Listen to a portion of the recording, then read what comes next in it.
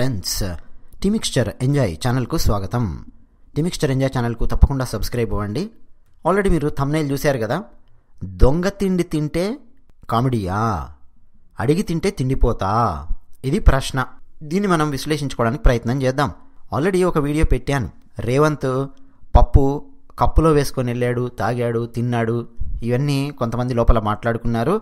నేను దాన్ని విమర్శిస్తూ ఒక వీడియో చేయడం జరిగింది. కొంతమంది ఔత్సాహికులు కామెంట్స్ కూడా రాశారు. కామెంట్స్లో కొంతమంది నాకు ఉద్బోధ కూడా చేస్తూ ఉన్నారు. అంటే ప్రవచనాలు కూడా చెప్తున్నారు నాకు కామెంట్ సెక్షన్లో ఏంటంటే మీరు రేవంత్ వైపు మాట్లాడకండి అదండి ఇదండి అని చెప్పి. టీమిక్స్చర్ ఛానల్ టీమిక్స్చర్ ఛానల్ వైపు మాట్లాడుతుందండి. రేవంత్ వైపు మరొకరి వైపు మాట్లాడదు. రేవంత్ కోసం కాదు ఛానల్ పెట్టింది మరో వ్యక్తి కోసం కాదు ఛానల్ పెట్టింది.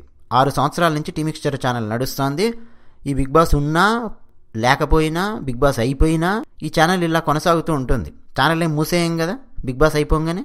సో ఛానల్కు ఛానల్ క్రెడిబిలిటీ ఇంపార్టెంట్ తప్ప లోపల వాళ్ళని పైకెత్తడమో ఎవరినో కిందికి దింపడమో ఇది ఇంపార్టెంట్ కాదు. ఎప్పుడైనా మేము ఒక విమర్శ చేస్తూ ఉన్నామంటే దాని వెనక ఒక తర్కం ఉంటుంది ఆ తర్కాన్ని అందించడానికి ప్రయత్నం చేస్తాం. తర్కం అంటే ఏంటి అని అడగండి తెలుగు వాళ్ళు లాజిక్. లాజిక్ అందివ్వడానికి ప్రయత్నం చేస్తూ ఉన్నాం. అంతకంటే బలమైన లాజిక్ మీ దగ్గర ఉన్నప్పుడు ఆ లాజిక్ రాయడానికి ప్రయత్నం చేయాలి. చేస్తే నేను కూడా డెఫినెట్గా అప్రిషియేట్ చేస్తాను. అలా చాలామంది కామెంటర్స్ను అప్రిషియేట్ చేయడం మీరు గమనించవచ్చు టీమిక్స్చర్ ఛానల్లో పేరు చెప్పి మరీ అప్రిషియేట్ చేస్తూ ఉంటాను. ఇప్పుడు ఒక కామెంట్ డిస్ప్లే చేస్తాను అప్రిషియేట్ చేస్తాను. ఆ తర్వాత కొన్ని విషయాలు మనం మాట్లాడుకుందాం. దొంగతిండి ఎవరు తిన్నారు? ఏం చేశారు? ఏంటి అన్నది. ఎవరి కామెంట్ అంటే పులగం రెడ్డి. పులగం రెడ్డి గారు. చాలా ఆసక్తికరమైన కామెంట్. ఏం రాశారంటే అందరికీ ఫుడ్ ఎక్స్ట్రా బిగ్ బాస్ నుంచి వచ్చింది. అలా బెనిఫిట్ పొందిన వాళ్ళు. Number one Aadi. Number two Rohit జంట number three Geetu number four Chanti number five Surya number six బాలాదిత్యకి two times నిన్న హోటల్ టాస్క్లో కస్టమర్స్ అందరికీ ఇలా అందరికీ చక్కగా మధ్యలో మంచి ఫుడ్ దొరికింది. టాస్కుల్లో కూడా పాపం రేవంత్కి ఫుడ్ ఉండడం లేదు. చాలా చాలా లాజికల్గా ఉందండి కామెంట్. ఎందుకంటే వీకెండ్స్ కొంతమందికి కొన్ని కొన్ని పోటీలు అలాంటివి పెట్టారు కదా. అందులో వాళ్ళు గెలిస్తే బయట నుంచి వాళ్ళకి ఫుడ్ రావడం మనం గమనించవచ్చు. బాలాదిత్యకు రెండు సార్లు వచ్చింది. ఫస్ట్ వీకెండ్ వచ్చినప్పుడు కూడా నాగార్జున గారు చెప్పారు నువ్వు ఒక్కడివే తిను ఇతరులతో షేర్ చేసుకోకు అని చెప్తే నాగార్జున గారు చెప్పిన దాన్ని పెడచెవిని పెట్టి బాలాదిత్య నేహా బర్త్డే ఉంది కదా అని చెప్పి ఆమెకు కూడా ఆయన బిర్యానీలోంచో ఏదో కొంత వడ్డించాడు. నాగార్జున గారు ఒకటి చెప్పారు చెప్పినప్పుడు వినాలంతే. హోస్ట్ చెప్పినప్పుడు. బికాజ్ ఆయన ఒక గేమ్ లోపల ఉన్నాడు బాలాదిత్య. ఎనివే నాగార్జున గారు సరిచేశారు కూడా. అది కరెక్ట్ కాదు బాలాదిత్య నేను నీకు ఇచ్చాను కదా అని. నేహా బర్త్డే ఉంటే నేహా కోసం కేక్ పంపించాము వాళ్ళ బ్రదర్తో మాట్లాడించాము ఇంకంతకంటే ఏం కావాలా అని చెప్పి అన్నారు నాగార్జున గారు. ఆ తర్వాత మొన్న వారం కూడా బాలాదిత్యకు ఆయన రెండుసార్లు కరెక్ట్గా సమాధానం చెప్పాడు కదా. సో బాలాదిత్యకు బయట నుంచి ఫుడ్ పంపించారు మళ్ళీ నాగార్జున గారు గుర్తు చేశారు. నువ్వు మాత్రమే తినాలి నువ్వు మాత్రమే ఉపయోగించుకో అని. ఈసారి సరే సార్ అని చెప్పి బాలాదిత్య చెప్పాడు. సో బయట నుంచి ఒక మంచి ఫుడ్ అనేది వాళ్ళకు వచ్చింది. వేరే వాళ్ళకు లేనటువంటి ఒక అడ్వాంటేజ్ తర్వాత రోహిత్ జంట. ఎప్పుడు వచ్చిందని రోహిత్ జంటకు? నాకు గుర్తు రావట్లేదు. గీతుకి ఎప్పుడు వచ్చింది బయట నుంచి వచ్చింది ఆ ఫుడ్ ఎక్స్ట్రాగా అంటే పులగం రెడ్డి గారు రాశారు కామెంట్ సెక్షన్లో సో ఇలా కొంతమందికి బయట నుంచి ఫుడ్ ఐటమ్స్ వచ్చాయి. పైగా హోటల్ టాస్క్ జరిగినప్పుడు కస్టమర్స్ అందరికీ మంచి ఫుడ్ దొరికింది. కరెక్ట్ అండి. ఆదికి మంచి ఫుడ్ దొరికింది. కదా? సూర్యకు మంచి ఫుడ్ దొరికింది. ఇంకా ఆదిరెడ్డి అయితే చక్కగా ఫుడ్ బ్లాగర్ వయా నువ్వు రివ్యూ చెయ్యి అని చెప్పి అలాంటి రోల్ ఇచ్చారు బిగ్ బాస్ వాళ్ళు. మంచి ఫుడ్ కుమ్మేసే అవకాశం ఆదిరెడ్డికి దొరికింది. అలాగే అర్జున్కు అవకాశం దొరికింది కస్టమర్. అలాగే రాజుకి దొరికింది అవకాశం.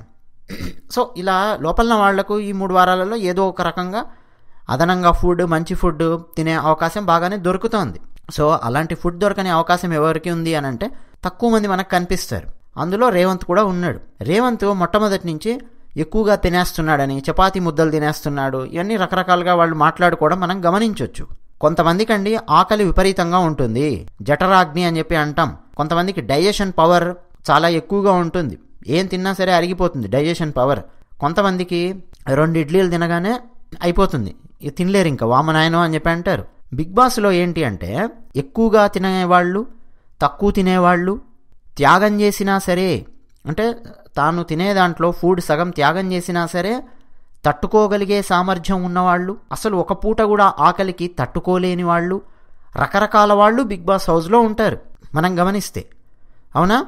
సో అలాంటి వాళ్ళందరి మధ్య సయోధ్య ఎలా కుదురుతుంది ఎలా డిస్కస్ చేసుకుంటారు ఎలా మేనేజ్ చేస్తారు అన్నదే మరి హౌస్ అంటే కుటుంబం అంటే అదే కదండి.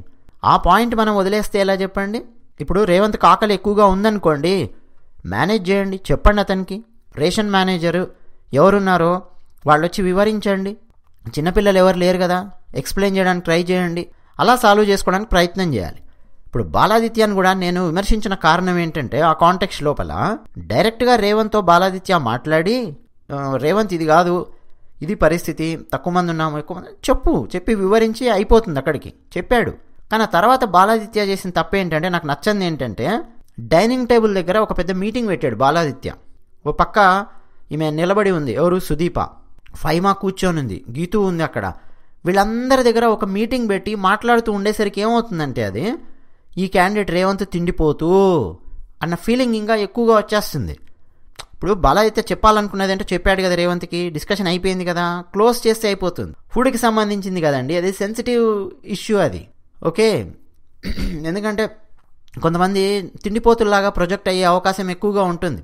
అది ఒక విషయం. ఇంకో యాంగిల్ ఉందండి. చెప్పనా ఇంకో యాంగిల్? ఎవరెంత తిండి తింటున్నారు అనేది పక్కన పెడితే అసలు ఇప్పటివరకు ఎవరెంత గేమ్ ఆడారు అన్నది ఆలోచించండి. మీరు చూసుకుంటారండి ఫస్ట్ వీక్ నుంచి. రేవంత్ ఏం ఆట ఆడాడు? సిసింద్రి టాస్క్లో మీరు చూడండి. రేవంత్ ఫస్ట్ ఆ బొమ్మల్ని తీసుకెళ్ళి ప్రామ్లో వేగంగా పెట్టడము ఆ పని చేశాడు. ఆల్మోస్ట్ గెలవాల్సినటువంటి టాస్క్ అది రేవంత్. ఫైమా ఏం చీటింగ్ చేసిందో మనం చూసాం క్లియర్ కట్గా చూసాం పోనీ కోపం వచ్చింది అక్కడికి అక్కడికి ఏదో మాట్లాడాడు అయిపోయింది ఆయన బొమ్మ పోయింది. ఆ తర్వాత కూడా మళ్ళీ ఫైమా కోసం ఆడాడు. ఆమెను కెప్టెన్సీ కంటెండర్ని చేసే స్థాయిలో ఆడాడు.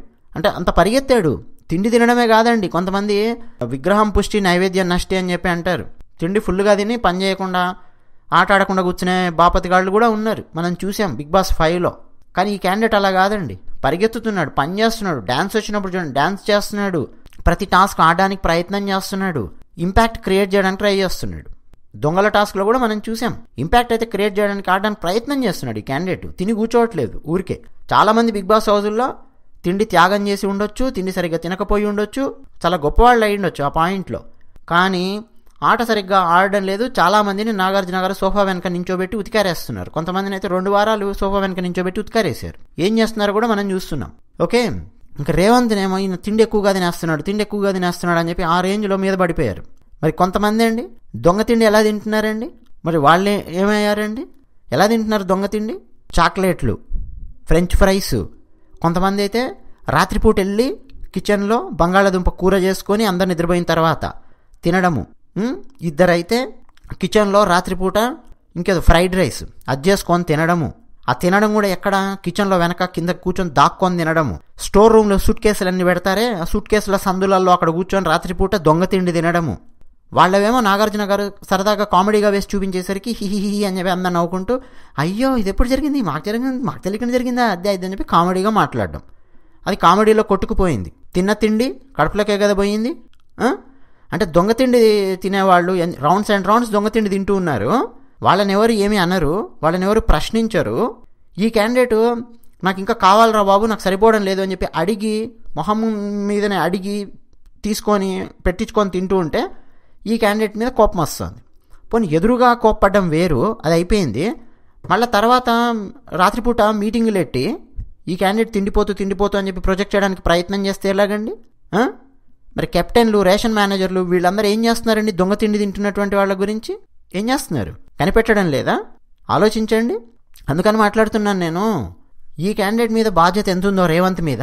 నా పక్క వాళ్ళకు కూడా ఫుడ్ ఉండాలి ఆ విధంగా చూసుకొని నేను తినాలి అన్న బాధ్యత ఈ వ్యక్తి మీద ఎంత ఉందో అంతే బాధ్యత లోపల ప్రతి ఒక్కరి మీద ఉంది. కొంతమంది ఏమో దొంగ తిండి తింటారా?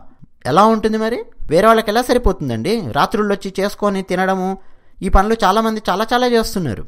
పోనీ ఈ క్యాండిడేట్ ఆట ఆడకుండా కూర్చునే టైప్ కూడా కాదు. ప్రతి ఆట ఆడుతున్నాడు. తర్వాత సూర్య. ఆయన గురించి మనం మాట్లాడదామా ఇదే వీడియోలో? వద్దులేండి మరో వీడియోలో మాట్లాడదాం. రాబోయే వీడియోలో మనం రేవు పెడదాం ప్రత్యేకంగా మాట్లాడదాం. ఎంత గొప్ప మహానుభావుడో మనం మాట్లాడదాం. అది విషయం ధన్యవాదాలు.